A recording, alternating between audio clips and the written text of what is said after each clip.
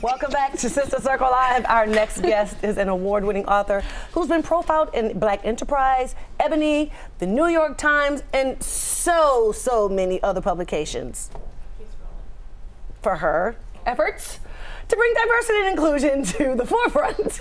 Absolutely. And today she's sharing lessons from her climb to senior level of the corporate ladder, ladder and uh, advice on how women can navigate their challenges in the workplace, which we really desperately need. Please welcome Michelle Gaston Williams. Thank yes, you so much for joining us today. Happy Friday. Uh, I'm telling you, and I'm loving the topic because we talk about this a lot. Sure do. I, am telling you, and, and it seems like there's always some inequality there when we're talking about women in the workplace and one of your favorite quotes was, uh, let's let's read that right here. You said, um, "To much is given, much is required." Yes. What exactly does that mean, Michelle?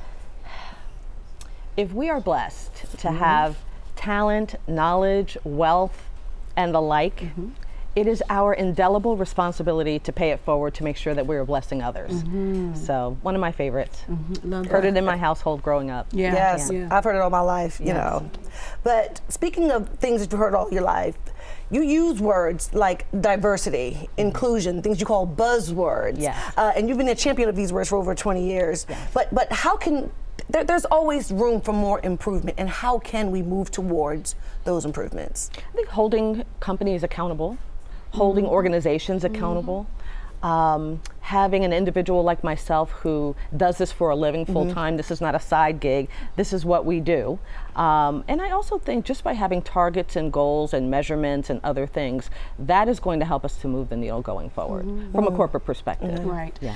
You know, it's very interesting because we've seen women be held back, you know, if, if, if we become pregnant. Mm-hmm. Uh, we've seen us not get promotions, we've seen us uh, be, be passed over when we have all of the qualifications.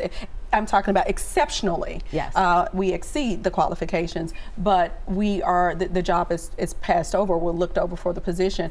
What can we do to uh, ensure that we won't have those financial penalizations? Mm, financial penalizations. I think that the more in which we can advocate and champion for ourselves mm -hmm. and have sponsors and mentors who can also do that for us, that will put us in the forefront mm -hmm. of mm-hmm. being considered for those stretch assignments and opportunities as they become available. Mm -hmm. So I think we, it's a matter strong of strong advocates. Exactly, uh -huh. but we uh-huh. have to advocate for ourselves yeah. as well. And I think we as women sometimes we don't do that. Yeah. Why do you think that we're fearful? We're fearful to ask for, you know, just the national average of what is due for a, a position. Um, we we think that okay, whatever is offered to us, if it if it's good money, we like to coin things as being good money, but it's really below the the average the, the, the standard nationally. So say for instance, if a job um, nationally will pay maybe 120,000, but as women we go into uh, the, uh, uh, the, the negotiate, go to the negotiating table and they say, okay, well we're going to offer you 90 sometimes women will say, you know, 90, that's that's that's good money, you know, right. so why, you know, I, right. I, don't I I need more, I want more, right. but I'm afraid to ask for more. We need to have the courage to have the conversation to ask for what we want. And I see some of our other counterparts doing that, the majority population, mm -hmm. if I should be so polite to say mm -hmm. that. Um, and what's the worst that can happen is that they say no. So if you understand your own net worth, Mm. Uh, and there's a lot of information out there where you can find out what your net worth is um, from glassdoor.com to other, I, I, can cite all of the uh, websites mm -hmm. for mm-hmm. you. Um, but I just think we just need to go into these conversations a lot more informed about mm -hmm. who we are, our qualifications, and not being afraid to say, this is who I am, this is the uh, what I bring to the table, mm -hmm. and this is what I believe I deserve. Well, with that, you know, it's really difficult, as you know, being a woman in any industry because when you are a strong woman, quote yes. unquote, yes. uh, you're a threat or you become the B word, you know. But or angry and black, yeah, you know. I mean, and it, woman if it's a man, you know that's par for the course. Right. So, so how do we stand our ground as far as negotiations are concerned and still remain likable? Interesting. So that is a topic that we as women wrestle with: the mm. likability factor versus the competency mm -hmm. factor, and when I think about over the years in terms of my own career, I worried about that. You yes. know, am I uh, too aggressive, too assertive? You know, what do people think about how I'm showing up in the workplace? Mm. But over time, you don't really care what people think. Yeah. Uh, you want to focus on the job, doing a great job, and what your output is at the end of the day, because ultimately that's what you're being measured on. Right? Well, not to interject, but but, okay, but even knowing your worth. Yeah and we just talked about that a second ago. Even Yes. knowing your worth and standing your ground, Yes. should you be willing to walk away? Ooh, that's good. That is a that's good one. That's real good right there. Now, Michelle, we got you. Yeah, on I know one. that. You see my face, right? You see my face. Uh, sometimes you do have to make that hard decision and, and walk away. Uh, everything is not for everyone, and what's for you is for you, and only you can determine what that is. Yeah. That was very political, very diplomatic, Michelle.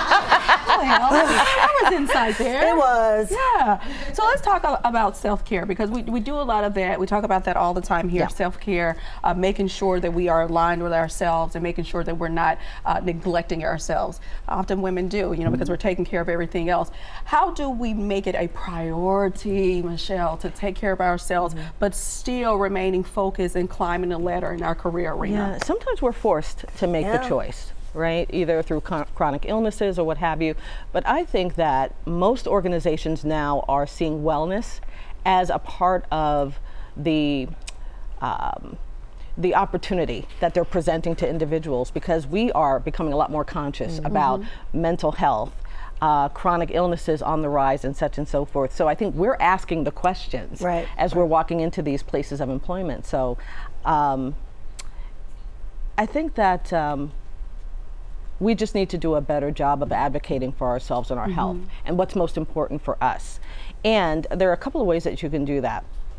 I think the first of which is, and I have my notes here, Yeah, yeah, is sure. uh, getting more sleep. So when I think about self care, a lot of us just don't. Seven to eight hours is the typical average in terms of uh, rejuvenating, reinvigorating Right, right. yourself. Um, We, we, don't get that type of we sleep. don't. We don't, but you know, we need to have you back for like a longer segment. Yeah. Oh, really- it's over because that there- there's so quick. many more answers we need, but we thank you for coming here and offering a GPS for navigating workplace challenges. good. and to all of you out there, if you haven't already picked up her book, pick up her book, Climb, so you too can take every step on your career journey with conviction and courage.